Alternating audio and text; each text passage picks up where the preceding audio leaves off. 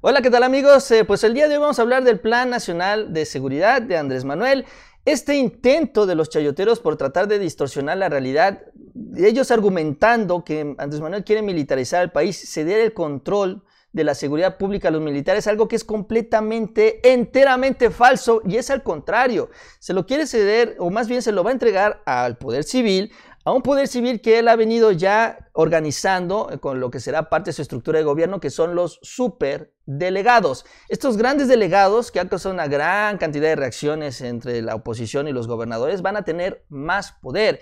Ellos serán la voz, ellos serán los ojos de Andrés Manuel, ellos coordinarán a las Fuerzas Armadas en todo el país tremendo poder político que van a tener. Y vamos a arrancar con esto, que eh, pues es muy importante para todos nosotros el tema de seguridad, con la Guardia Nacional, que eh, bueno, se vendrá una reforma constitucional al artículo 76 para la conformación de la Guardia Nacional como instrumento primordial del Ejecutivo Federal.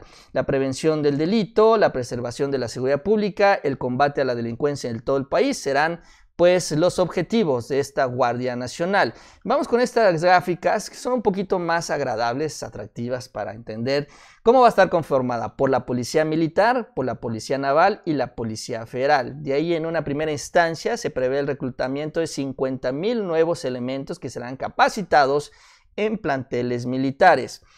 Y, de ahí, bueno, quien se decida sumarse voluntariamente de la tropa castrense. En total quieren llegar aproximadamente a 150 mil elementos en el 2021 para cubrir 266 regiones. Así es como quieren dividir el país para poder operar esta estrategia con mm, mayor éxito. Y aquí viene la parte del organigrama, que es justamente la que quieren manipular y donde quieren decirnos los chayoteros que esto se está militarizando, ¿no? que Andrés Manuel estaría compartiendo casi el poder con los militares y bueno, tenemos que el comandante de las Fuerzas Armadas, comandante supremo hasta la cabeza, Andrés Manuel, de ahí sigue eh, la presencia, la figura de Alfonso Durazo, ya de entrada ahí tenemos un mando civil. Y aquí donde están jugando con toda esta desinformación es ya en la tercera posición, que sería el secretario de la Defensa, Luis Crescencio Sandoval, quien él es el coordinador de la Guardia Nacional. Pues, ah, es que ahora los militares van a coordinar y organizar la seguridad en este país. ¿Por qué? Porque bueno, él va a organizar estas coordinaciones regionales que vemos ahí abajo, donde estarán conformadas por representante del gobierno federal, representante de la Fiscalía General, eh, el mando militar regional, autoridad municipal, Ministerio Público, Derechos Humanos y la autoridad estatal. Estas coordinaciones regionales, cada una estará presidida por una autoridad civil del más alto rango presente en la reunión. De entrada ahí abajo ya tenemos que va a ser una autoridad civil quien va a estar coordinando estas 266 regiones que se esperan tener en el 2021. Donde dicen que esto depende del ejército, lo coordinará o lo manejará el ejército, es porque finalmente el coordinador general de la Guardia será el titular de la Sedena, Luis Crescencio Sandoval. Pero aquí vamos a ir desglosando un poquito esto de las coordinaciones regionales, porque es una figura, no es nueva, ya es algo con lo que viene trabajando. Andrés Manuel así va está organizando su gobierno, así va a operar, así es como se van a implementar todas las acciones, incluso este plan de seguridad. ¿Por qué? Porque en el mes de agosto nos dio a conocer que el gobierno tendrá 264, bueno, ya lo ajustamos a 266 delegaciones regionales. Cada uno estará apoyando a los delegados estatales. Y esto se anunció en el marco de la implementación de los programas sociales, los censos que están realizando para ir conformando los padrones para entregar estos programas sociales. Y ahí es donde se dio a conocer y donde surgió esta figura de los coordinadores regionales que estará ayudando a cada uno de los coordinadores estatales en las 32 entidades del país. Vamos a recordar lo que nos dijo Zoe Robledo, el próximo subsecretario de Gobernación, sobre esta figura de los coordinadores regionales y obviamente en el marco de los programas sociales. Eh, regional, efectivamente, con la coordinación estatal y después una coordinación de la delegación eh, nacional para que realmente el ejercicio, la oferta de gobierno de los programas sociales, de los programas educativos, el programa de becas, el programa de empleo, sea el de adultos mayores, desde luego, del de personas con discapacidad, sea algo que llegue directamente a las casas, eh, que llegue al territorio, a la, a la población y que además se haga de manera muy transparente que se sepa eh, el número específico de cuántas acciones se están haciendo en cada, en cada materia. Entonces es una forma completamente diferente, digamos, no, no en un principio de centralismo y de verticalidad, sino lo contrario desde el territorio y eh, de, abajo, de abajo hacia arriba. Ese fue el planteamiento. Entonces el gobierno Andrés Manuel viene construyendo una estructura de gobierno a través de delegados regionales que responderán a los delegados estatales y a su vez obviamente llegará hacia el Palacio Nacional.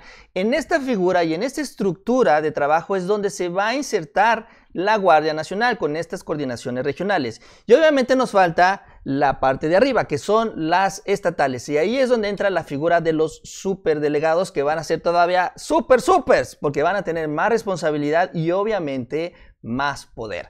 Y vamos nuevamente al documento de Andrés Manuel que presentó el Plan Nacional de, de Paz y Seguridad. Y vamos con esta parte donde dice dos puntos importantes. De entrada, el mando operativo de la Guardia Nacional estará a cargo de los oficiales del Ejército Mexicano y de la Armada de México, en el caso de las zonas costeras. Por eso es que Luis Crescencio Sandoval está como el gran coordinador de todas estas coordinaciones, ¿no? Finalmente en todo el país, porque él se va a encargar de ejecutar esas órdenes, esas indicaciones. Ellos son los que saben cómo estar en la calle, cómo aprender a los delincuentes, cómo enfrentarse hacia, contra ellos. Entonces, ellos se encargarán de toda la parte operativa y los consejos estatales de coordinación se reunirán diariamente a temprana hora. Estos consejos estatales son justamente los que van a encabezar los superdelegados. Y lo mismo que va a hacer Andrés Manuel en Palacio Nacional todas las mañanas, también todas las mañanas en cada uno de los estados estará reuniendo estos consejos estatales encabezados por los coordinadores, los superdelegados, perdón. Entonces, esa misma figura se replicará en todo el país y esto nos lo confirma también eh, Alfonso Durazo en una entrevista donde aquí titulan Delegados estatales, mandos civiles contra la violencia. Los delegados de programas de desarrollo, quienes representarán al presidente de la República en los estados, fungirán como responsables civiles de coordinar el trabajo de las fuerzas federales dentro de la estrategia de seguridad.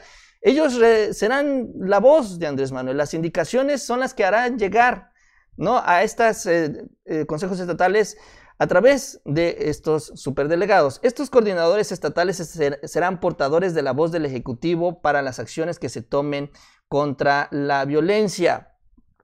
A decir de Alfonso Durazo, nominado como próximo secretario de Seguridad, los participantes en las mesas de seguridad de los estados estarán bajo el mando de este representante civil.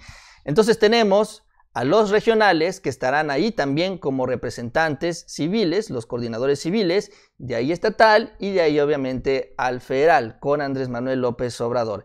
Entonces, esa realmente es la estructura de operación de la Guardia Nacional bajo el mando civil y también de los representantes del gobierno de Andrés Manuel civiles en las diferentes instancias de organización que él ya tiene implementado para su gobierno en todos los aspectos, ¿eh?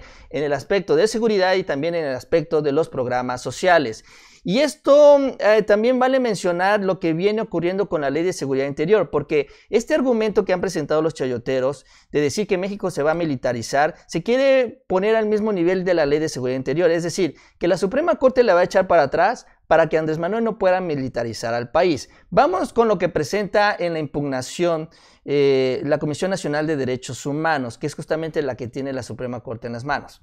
Dice así, la ley que ahora se impugna contempla la participación las Fuerzas Armadas. Sin embargo, la diferencia radica en que la Ley de Seguridad Interior habilita a las Fuerzas Armadas para que puedan actuar por sí, es decir, sin mediar petición de apoyo por parte de la autoridad civil lo cual acabamos de ver que es completamente falso, o sea, no va en esta dirección. Esto significa que no importa lo que decida la Suprema Corte con la Ley de Seguridad Interior, finalmente las modificaciones que va a hacer Morena, que ya anunció Andrés Manuel y que ya también adelantó Mario Delgado, que van a hacer en este marco de la Guardia Nacional, van a ser suficientes para su operación.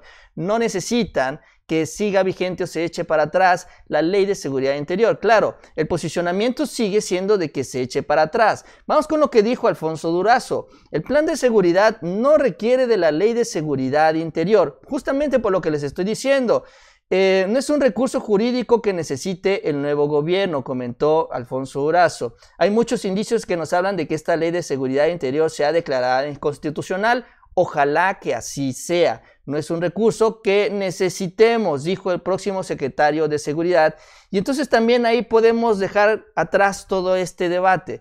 Entonces, Morena sigue en el interés de que pues esta ley de seguridad se eche para atrás, se acote, no se mantenga y parece ser que la Suprema Corte va a seguir en este sentido y van a seguir adelante con sus reformas. Sí necesitan hacer reformas para la creación de la Guardia Nacional y que se establezca esta nueva estructura de control. Y también lo importante de todo esto es que las designaciones que hizo Andrés Manuel entendemos que las hizo en la Sedena y en la Marina justamente para evitar que los grupos al interior se rebelaran ante esta decisión, porque se ha hablado y se discutió mucho durante los últimos meses cuando trasciende estas ideas de que los mandos del ejército y la marina no querían sujetarse a los mandos civiles, que iba a costarles trabajo, que era... Ya sí sucede en otras partes del mundo, pero como en México no era así, había todavía que negociar con ellos y llegar a algún punto de acuerdo, lo que finalmente alcanzaron, pero haciendo a un lado estos grupos de poder. Y entonces finalmente necesitaban que el ejército y la marina se pudieran someter a otros mandos civiles distintos al comandante supremo. Que bueno, que cuando llega a esa posición, me dicen ya legalmente no es un civil, pero aún así se tenía que elaborar y trabajar en esta estructura que es justamente la que se va a implementar y para la cual se van a presentar las reformas. Bien amigos, pues es todo, gracias por acompañarnos, espero les haya gustado la información y nos vemos a la próxima.